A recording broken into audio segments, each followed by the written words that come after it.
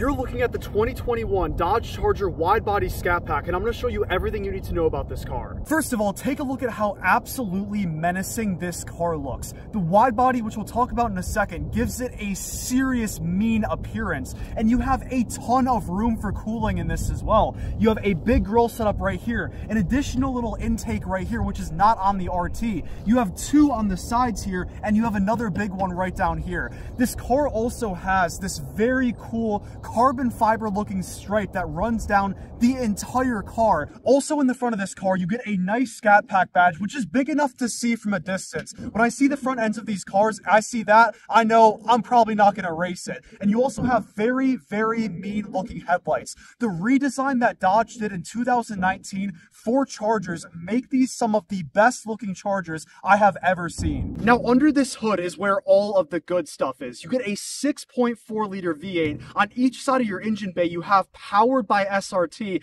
just to make it feel and look a lot more special, which this engine is special. You'll see in a second how hard it pulls. It makes 485 horsepower and 475 pound-feet of torque. Dodge claims you can do a 0 to 60 run in just 4.3 seconds in this car. Let's test it.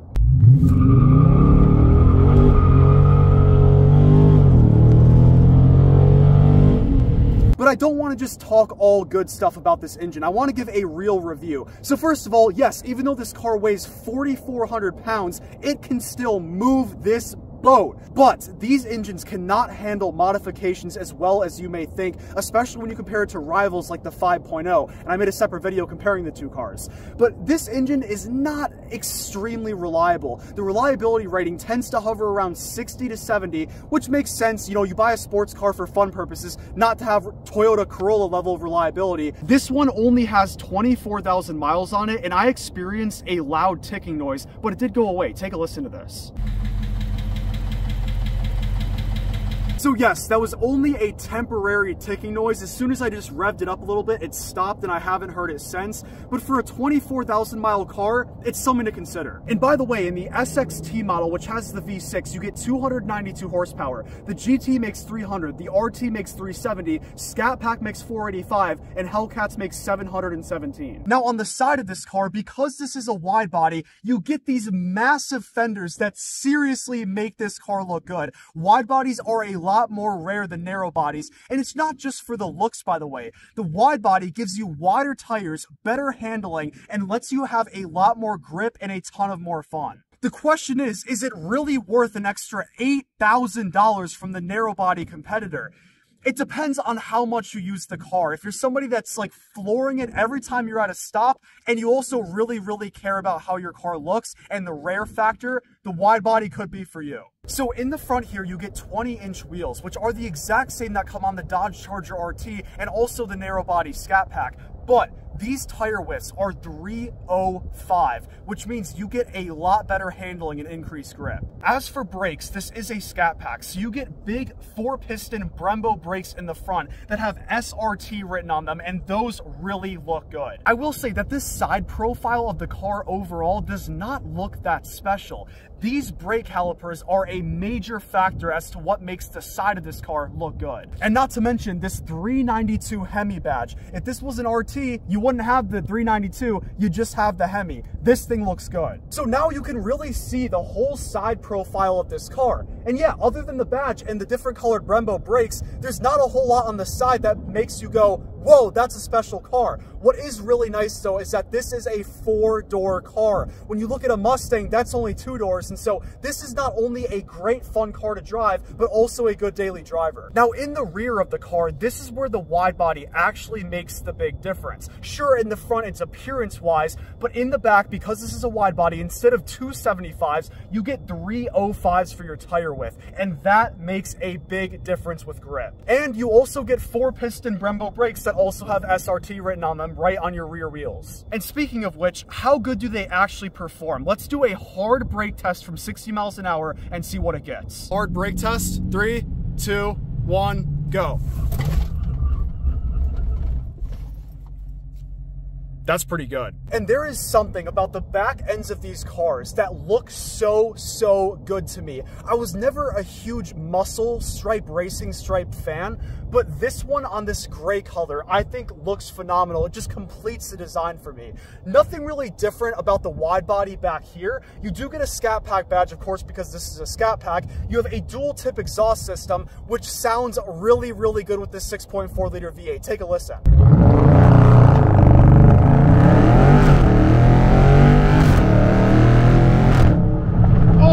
so good. It's so, so good. And the spoiler back here is actually the exact same one that's on the Dodge Charger RT. I wish it was different, but th these wings do seriously complete the design of the back ends of these cars. You also have two vents in the back to help more airflow through the wheel well. And I've also always loved how the taillights on these Dodges look. And by the way, the trunk button, no one can ever, ever find it if they don't know this car.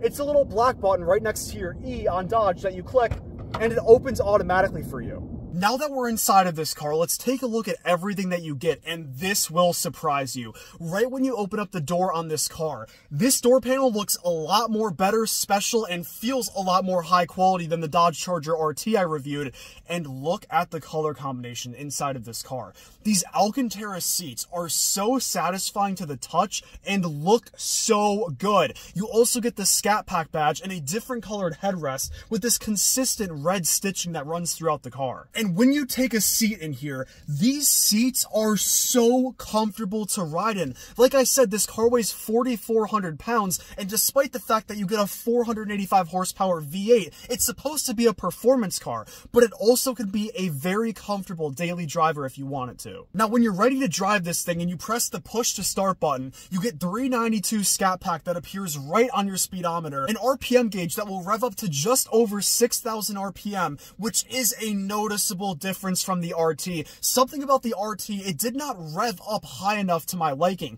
but this one does. And also, this steering wheel is massive. It takes up over half the space between the dash of the car and the seat where your legs are. And this is a very simple steering wheel. It feels good to hold. There's not a whole bunch of buttons, but it's got everything you need. And also there's paddle shifters in the back, which are set up in a very cool way. If you hold down the downshift one, it'll automatically shift to the lowest gear possible so you can floor it. In the center console, you have your stick to switch from park, reverse, neutral, drive. You can also shift it to the left and shift manually. You also have two cup holders that you can cover up with this cover here, which does look nice. And you have a massive, massive storage space in your center console with two USB ports as well. And by the way, that little rubber compartment you see next to the gear lever is where people steal your car. Your neutral strap is hidden under that. And the reason that exists is because Dodge set these cars up in a way where no matter what your credit score is or what your down payment is, they will try to get you into this car. Now, they know most of the people who buy these are gonna have them repossessed. So they needed to set up an easy way to repossess these cars, and that led to this car being the most stolen car in the world. But to jump to a more positive note, other than how great this interior presentation looks, my favorite thing is the infotainment systems you get in these cars. And this one has some special ones. This is not just the regular RT infotainment system. This one has quite a few more options. So first of all, to touch on some basics, you get driver and passenger heated and ventilated seats with two different modes. You also get a heated steering wheel in here. These features almost make this car cross over into the luxury territory. Really, with this interior and these kinds of amenities, this is more than what you need. Now, in this infotainment system, if you're on the app screen, you see a button called SRT mode and SRT dashboard. If you click SRT mode, you're able to individually configure all of your drive modes, or you can just select the pre-configured modes, which are track and sport. Of course, there's no street mode because you know you're gonna be flooring this car every second. Now, if you click track setup, when you switch to track mode, you can configure your transmission, paddle shifters, traction, suspension, and steering. But then you see another button next to track setup called race options. Click this and you have line lock, launch control, and you can configure shift lights just to make it so that when you hit the red line, this car will give you a flash. And if you don't know what line lock is, in simple terms, that means this car was built for burnouts. And then when you select launch control, you can launch this thing up to 3,300 RPM, whereas the RT will only go up to 3,000. And the 3,300 RPM launch in this car is aggressive. Oh my gosh! Now, if you jump back to the apps page and click SRT dashboard, you get taken back to the same place that we were last time. That button's really just a shortcut to get to where you need to go to have fun quickly. But on the bottom of this infotainment system, on the right-hand side, you see a performance button. Let's click it. Once that thing loads, you get taken to the home page of your performance pages. And here, well, you can select what you want to see live readings on with your car while you drive it. But it gets a lot better. If you click timers, you're able to see performance metrics like your reaction time, your 60 feet, 330 feet, and right next to your drag button, if you click acceleration and braking, you can see your 0 to 60, 0 to 100, and brake timers with the best 0 to 60 being one second. Now, obviously, that's somebody who just did a 0 to 60 test but spun the tires up to 60. Of course, that's not possible. Now, under the timers button, you have a gauges button. If you click that, you're able to see some important temperature metrics for your car. And under gauges is G-force, where you can see your live G-force reading in your car and also the peak that this has ever hit.